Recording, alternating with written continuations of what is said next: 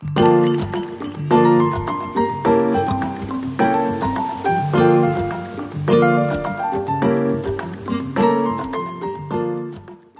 the theme of this video, we should start out by first clarifying a few concepts. It is very important where you decide to put your attention because wherever you put your attention imparts importance to that object, concept, or thing, whatever it might be. Could be the government, it could be a corporation pretending to be a government, it could be money, it could be a school system, it could be a telephone, it could be many different things. And there are so many mechanisms to call to attention different objects or subjects. Phone notification is a simple example of that. Wherever you direct your attention is wherever you will go. It's what can sometimes be referred to as voting with your feet. And it seems that today most are focused on a path that was leading to our destruction because that's where the attention is going towards destruction. And wherever you put your attention provides leverage to whatever entity is gaining that attention. And hence, with the basic concept of marketing is attention control. What gains and holds attention, and where is it being put? Of course, we can always reverse the process by putting our attention somewhere more beneficial. And that's basically, in concept, the only way to fix the position of attention. And this gets into what the idea of quality. Now, there are many things that go into quality, but the main component that imparts quality to something is through trade. What has trade value? What is tradable? The quality has to do with that now.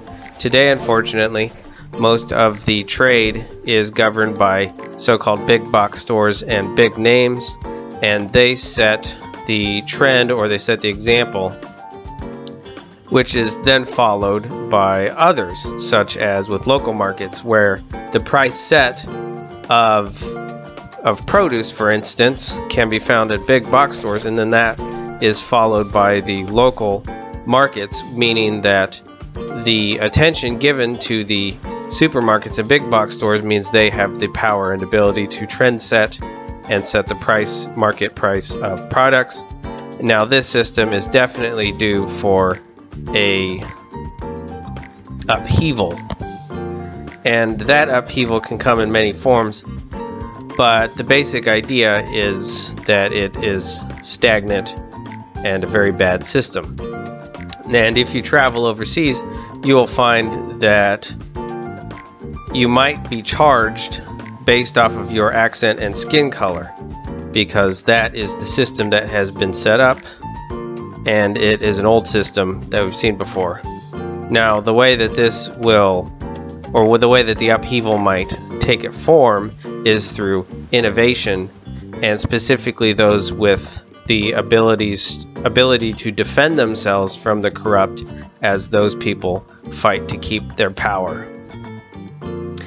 Now, this system is easiest to describe in terms of banking.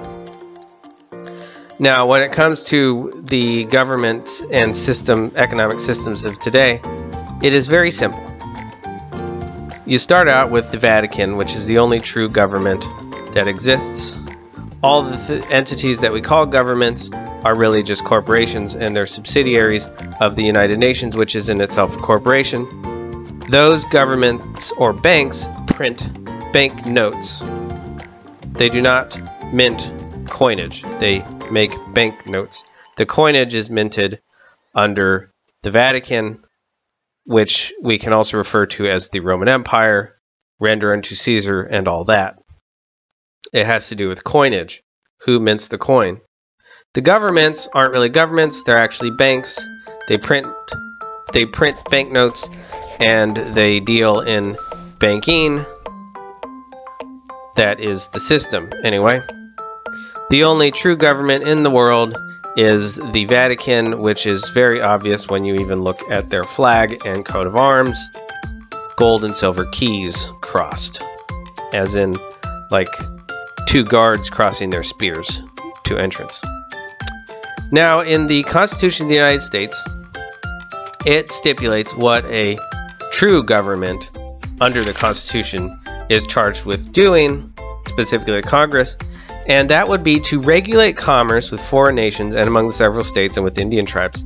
But the important part is where it states that uh, Congress shall have the power to coin money.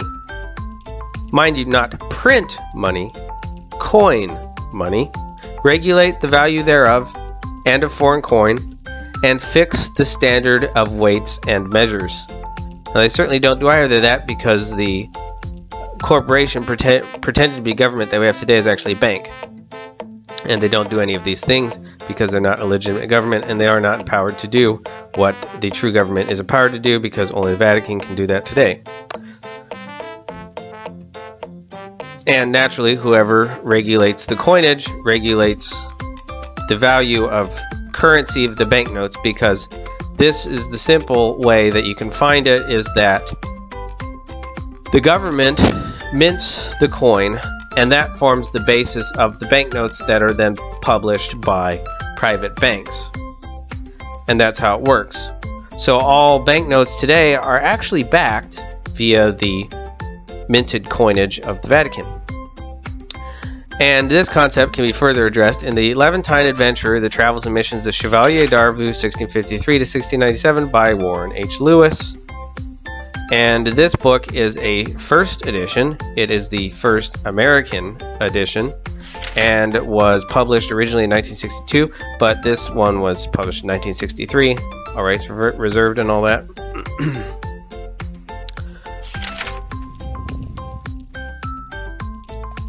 now, on page, on chapter 1, page 11, it states Insurance and freight must have been heavy, for Postillon carried a valuable cargo, merchandise worth 25,000 livres and 25,000 livres in cash, to say nothing of the passengers' money and the trade goods of the officers and crew.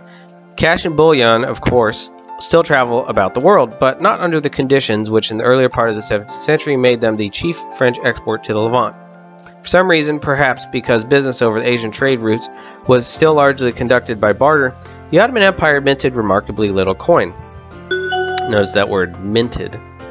But the barter system could not be used between Frank and Turk because French exports to Turkey were insufficient to pay for their imports from the Levant, and the trade could be balanced only by the French exporting cash to pay for their purchases.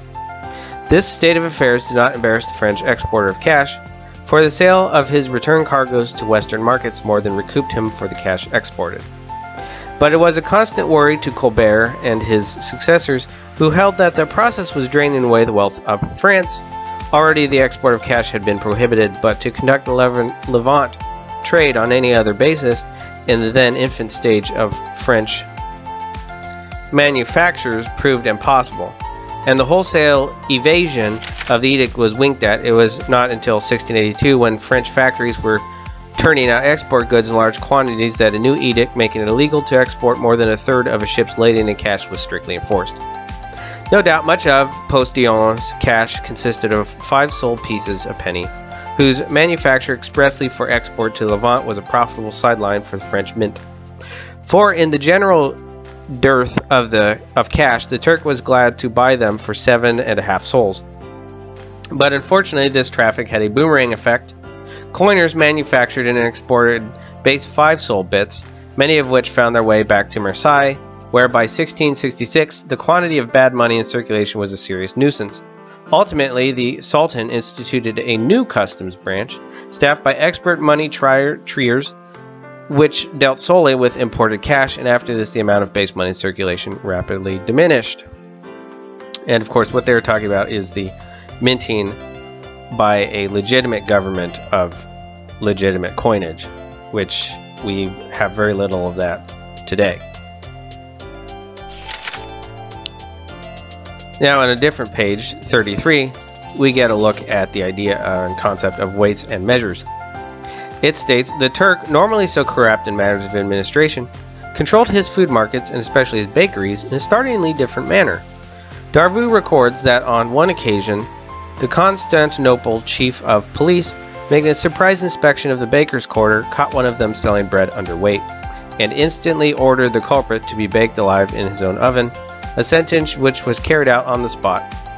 An ambassador who heard of the, heard of the incident observed to the Kaimakam, as this officer was called, that the punishment had perhaps been a trifle severe, and received an answer which makes a contribution to the tiresome controversy over punishment which rages today. I entirely agree, he said, but by the timely aid of this severe punishment, we shall prevent others from offending for a much longer period. Through their fear of being similarly treated, whereas you Franks have to keep on punishing because your sentences are not severe enough to deter your criminals from sinning again. That's an interesting note and an interesting perspective, and it's no surprise why the sentiment in the Ottoman Empire was one of fatalism, but we find that fatalist mentality in nearly every part of the globe today, considering the amount of corruption that is done by banks that parade themselves as government. Now, looking further into this concept, it would be well worthwhile to look at companies that mine metals. And the movement of the metals that these companies mine and the real reason why no governments today mint coin but print banknotes and how can you mint coin if you don't have any metals to do so and when all of the metals are being mined and sent somewhere else it's no surprise how the system operates. And the first company we're going to look at is the Rio Tinto Corporation, which is a uh, which is headquartered and registered in the United Kingdom. It is not a Spanish company; it is a English company specifically. And I wonder where it goes. The uh, metals go after they arrive in England if that is in fact how it works. And of course, this company was established in 1873, a very interesting date. And they focus on iron ore, bauxite, alumina, aluminium, copper, molybdenum, gold, diamonds, and others, include silver. But of course, those are done by subsidiary companies.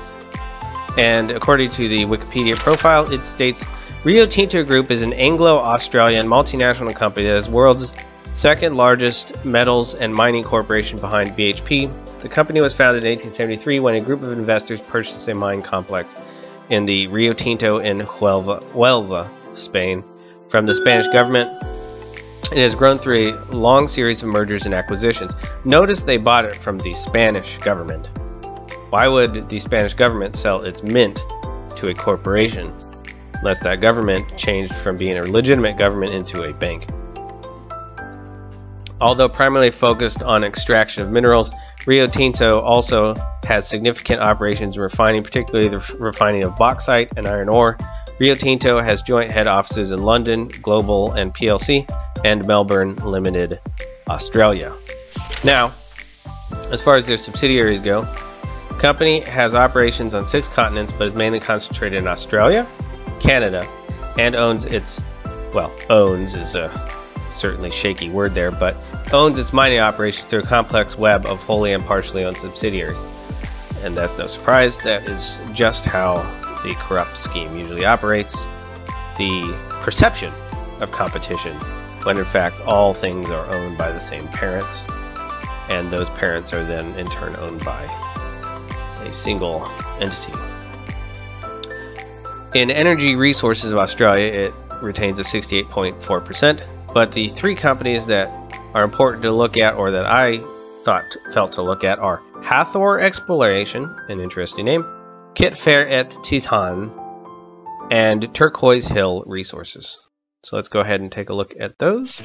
When it comes to the first one that we'll look at, QIT-Fer et Titane, Uh, it states QIT-Fer et Titane QIT, from its old name Quebec Iron and Titanium, is a Canadian mining company located in Quebec.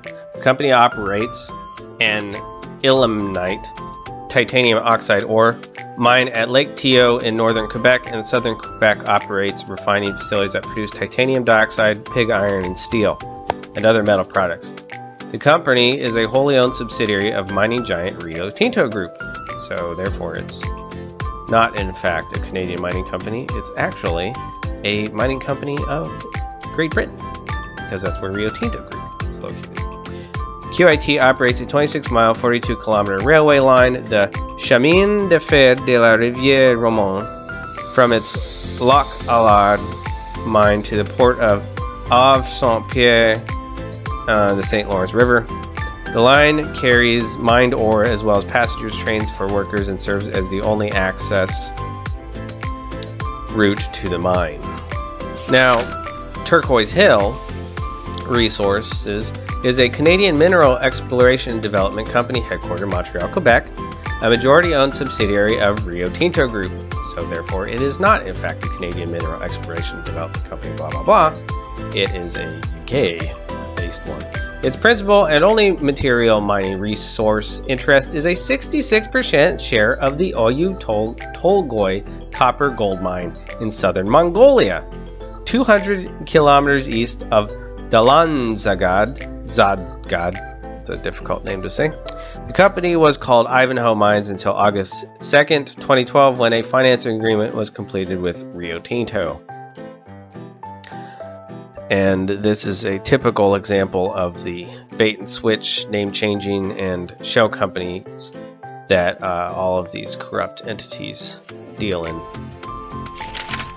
Now, the Oyu Tolgoi project is considered one of the world's largest copper and gold porphyry deposits. For development to happen, Oyu Tolgoi, an agreement had to be made in which the Mongolian government took 34% stake in the project. Now that's because that Mongolian government is in fact a bank. It's not a government, it's a bank.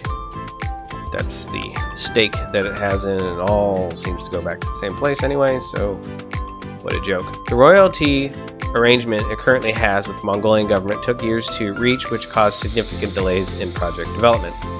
In Australia, Turquoise Hill Resources has stakes in mines containing gold, uranium, copper, and the world's highest grade molybdenum and rhenium. In Mongolia, the company controls several other gold and copper mine development projects. It owns a 50% interest in the Kyzyl Gold Project in Kazakhstan through Altynalmas Gold and has exploration projects in China, Indonesia, and Philippines. Turquoise Hill Resources also owns 14% of Entrée Gold, a company with interest in copper and gold projects in southern Mongolia and Arizona, and 14% of Exco Resources, which operates Cloncurry's copper project and the White Dam gold mine in Australia. So this these people specifically deal in gold, but it always goes back to the same parent, so go figure.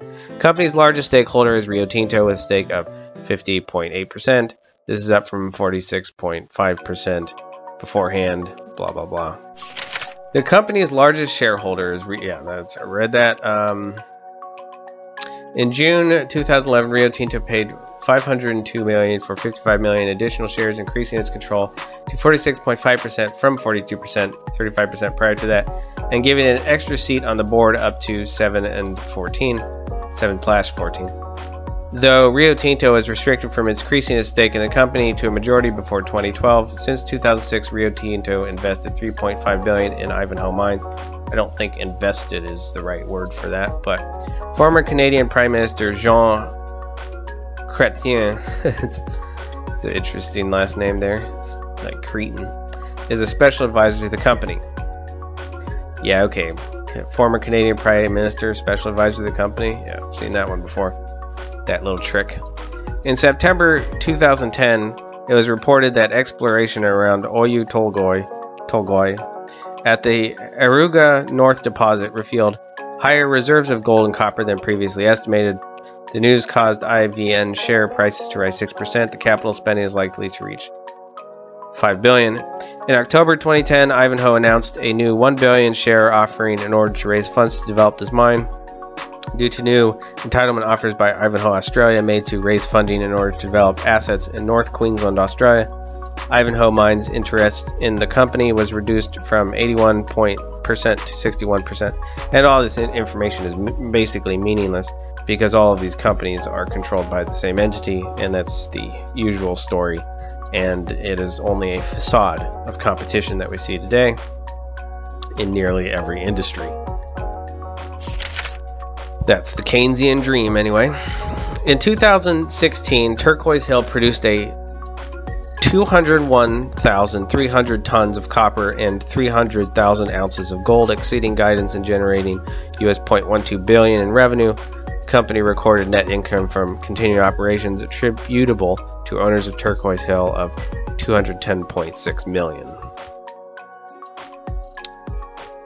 They also work in coal, but for this purpose we are looking at precious metals and how it might relate to coinage of legitimate government bullion and cash.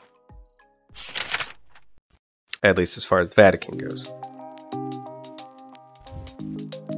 Now, naturally, many would might say, oh, well, these companies are located in UK ultimately, but that's a very common funneling point. And the UK government itself issues banknotes, not coinage. In continuation with this example, the mines acquired in 2003 are located at Mount Isa, Cloncurry, with the largest project being the Merlin mine, which has the world's highest grade molybdenum rhenium deposit. The other is Tennant Creek. It has also acquired the Barrick Gold Osborne asset near Merlin, which has an ore processing plant. Completion of the purchase required 18 million. Copper and gold, Oyu Tolgoi has measured and indicated reserves of at least 36.3 billion pounds of copper and 20.2 million ounces of gold. Newly discovered deposits at Oyu Tolgoi could add substantially to the measured and indicated reserve estimates. Oyu Tolgoi, the world's largest gold, third largest copper and gold mine, still requires 4.6 billion investment before, yeah, blah blah blah. Yeah, investment, sure. That's what that is. And in Mugglehead Magazine Mining, MAG and Fresnillo connect Mexico silver mine to national power grid and ramp up production. Commissioning of the jointly owned Juanicipio project has formally started and full nameplate capacity is expected in Q2 with uh, second quarter 2023. And of course, I bet you can guess where MAG and Fresnillo ultimately are located. And you would in fact guess right. And of course, this article was written by Rowan Dunn, published December 30th, 2022. That would be last year. According to this article, Vancouver based Mag Silver Corp and Mexico's Fresnillo PLC, that's PLC's uh, UK, have had the necessary testing completed by Mexican electrical authorities to connect their silver mine to the national power grid. Yeah, Mexican electrical authorities, more like Mexican electrical employees for the Mexican electrical subsidiary of the Mexican bank government. In continuation, the companies announced news of the milestone on Wednesday and say the entire system at the site is now energized. The commission of the project has formally started. Mag and Fresnillo say once the commission is concluded, ore will be processed at the site. Yeah, of course, naturally. The news follows Fresnillo installing substation equipment at the site on behalf of both companies. On behalf of both companies, please. They're the same company. They're just subsidiaries of the same parent anyway. Um, which is compatible with older infrastructure from the National Power Company production. There will now be slowly ramped up with the intention of reaching full nameplate capacity by April 2023. And the Juanicipio project contains high-grade silver along with gold, lead, and zinc. Mag says the site is only 5% explored and a strong financial position. Connection to the power grid is a long-awaited milestone for the Juan Juanicipio project, our stakeholders and stakeholders alike, and we are thankful for the understanding and patience as the final steps to connect the plant to the national power grid were concluded, says George Paspalas, President CEO of Mag Silver. We now turn to working with Fresnillo to maximize value generation from Juan Juanicipio as we head into ramp up full-scale operations with Juan Juanicipio graduating to Tier 1 silver producing. Of course, naturally, they are playing the pretend uh, competition and um, working together angle, not that they uh, get their orders from the same entity and therefore are not independent nor separate. They are simply two faces of the same coin. Irony intended. Mag Silver has a 44% stake at Juanicipio, and Fresnillo has the other 66% share, and of course that entire percentage goes to the same entity as we've mentioned. Fresnillo says Juanicipio is its next major growth project and that from next year onward the site will be a major influence in its operations. The company also says it expects an annual silver production rate of 11.7 MOZ and a gold production rate of 42.5 KOZ per annum over the course of its mine's life. Mag Silver stock decreased by 2.23% today to 21.08 on the Toronto Stock Exchange. Fresnillo stock increased by 1.74% today to uh, that's um, 8.42 pounds, and the London Stock Exchange. Notice the symbol for pounds is the same symbol used for the livre, which is very interesting. And now we get into Hathor. Hathor Exploration Limited is a uranium exploration company based in Vancouver, British Columbia. Its exploration office is located in Saskatoon, Saskatchewan, Canada. Hathor's exploration projects concentrate on properties within the Athabasca Basin of northern Saskatchewan, Canada. It is focused in uranium, formed in 1996 in Alberta, and of course the parent company is Rio Tinto. In, in the Wikipedia article under Rough Rider Deposit Discovery, the most significant assets attributed to Hathor exploration is its Midwestern Northeast project and the Rough Rider deposits multiple zones of uranium mineralization. The Rough Rider deposits wet zone was discovered west zone was discovered in February 2008 with drill hole, and uh, this is a bunch of different um, technical information, which you can read if you so desire. Next, we will look at Fresnillo Mining Company, PLC, located, of course, in London, formed in 2008, and naturally uh, one of the major miners of silver, go figure, in Mexico. It states, quote, the company operates three gold and silver mines in Mexico. Industrias Peñoles retained the right to its primary base metal mines within Fresnillo when Fresnillo was spun off. The largest mine in terms of silver output is Mina Proaño, also known as Fresnillo Mine, located near the city of Fresnillo in the state of Zacatecas. The other mines are at Cienega in Durango, Durango and Herradura in Sonora. In 2007, Fresnillo PLC produced 34.3 million ounces of silver and two, uh, 279,614 ounces of gold from its three active mines, as well as 20 tons each of zinc and lead as byproducts. The company has 21 active exploration projects located across the country. It signaled plans to use money raised in its IPO to expand into Peru and Chile. What a surprise there. Simply more taking of the resources of conquered areas.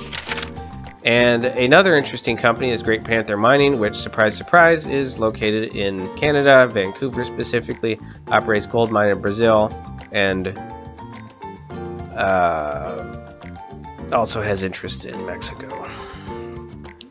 And it was founded in 1965. And of course, naturally, that it doesn't stop there because it states that in addition to exploration properties in Mexico and Canada and its ownership of the Coricancha mine complex on care and maintenance since 2003 in Peru, Great Panther owned and operated three operating mines. The Tucano mine in Amapa, Brazil is an open pit mining gold door bars or doré bars. It was acquired by Great Panther with its 2019 merger with Beadell Resources Limited. The Topia mine, of course, in Durango, Mexico, and uh, Guanajuato, Mexico. And when we look further into that, it states the Guanajuato mine complex near the city of Guanajuato, Mexico, includes the Guanajuato and the San Ignacio mines, centralized copper processing plant. While it has been subject to mining activities since the 1930s, it was acquired by Great Panther in 2005 and further developed as an underground mine to produce silver and gold concentrate material. It was sold in 2022 to Guanajuato Silver Company, Ltd. Very interesting indeed. Wonder where Guanajuato Silver Company Ltd is located. I would second put a guess as probably England. And interestingly enough, there is a physical Rio Tinto location, a river, which uh, presents the image of the river of blood that was alluded to in the Bible. And in this article by Lorenzo Ciotti, uh, published November 3rd, 2021, it states Rio Tinto how pollution has produced an incredible mutation. The chemical nature of Rio Tinto is the result of extreme, extreme mineral pollution, with heavy metals including gold, silver, and copper present in the water in significant proportions. In continuation, it states Rio Tinto is a river in southwestern Spain which originates in the Sierra Morena Mountains in Andalusia, follows a south slash southwestern course, reaching the Gulf of Cadiz near the city of Huelva. Tinto stands out for its high acidity of its waters, pH 2.2, and a deep reddish hue caused by dissolved iron. Of course, remember that the Rio Tinto Group bought the mines originally in 1873 from, you guessed it, Huelva, Spain.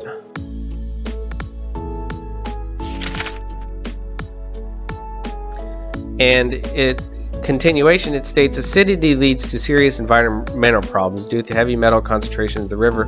Visitors are drawn here to see its eye-catching colors, but who, those who think about swimming in the vibrant waters should think again. That's not a surprise there. That would definitely not be a fun time.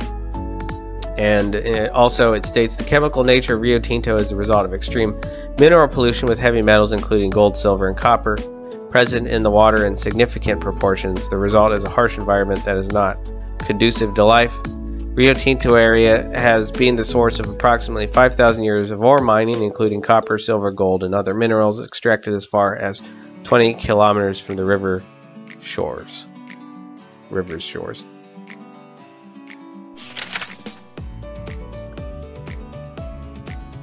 and it states a possible result of the mining, the Rio Tinto, is notable for being very acidic pH 2, and its deep reddish hue is due to iron dissolved in the water. Of course, one of the main components of blood is, in fact, iron. So go figure. Acid mine drainage from the mines leads to severe environmental problems because the acidity low pH dissolves heavy metals into the water. It is not clear how much acid drainage has come from natural processes and how much has come from mining. There are severe environmental concerns over the pollution in the river. There is not much to ex experience here, and those who do venture put their health at risk. Dangerous bacteria thrives in these conditions, and while the river can be pleasant to watch, bathing should be strictly avoided. Sounds exactly like what was done to the river in Egypt in the Bible area era. And it also states, this article, Several hundred years ago on the banks of the river, veins of gold, silver, copper, and etc. were searched in the open as a result of those works. Several quarries of strange shapes were dug, and the Rio Tinto absorbed toxic acids and metals. Already, the Carthaginians began the extraction of metals on the banks of the Rio Tinto, which caused water pollution. Thank you, and if you have enjoyed this video, please share it, like it, uh, subscribe to my channel, and stay tuned for other videos. There will be more. Also check out my other content. I do publish books, etc.